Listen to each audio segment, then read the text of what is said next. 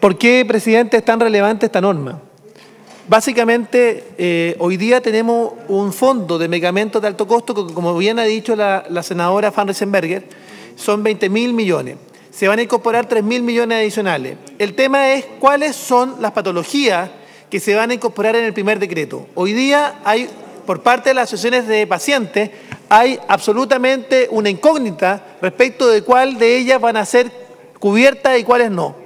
Me parece más grave aún, presidente, y por su intermedio al subsecretario, lo señalado ayer por la ministra de Salud en un programa, esto no tiene nombre, donde efectivamente señala que le va a dar codificación FONASA y cobertura a las 33 enfermedades, 33 enfermedades consideradas raras o infrecuentes o huérfanos. ¿Y por qué lo planteo?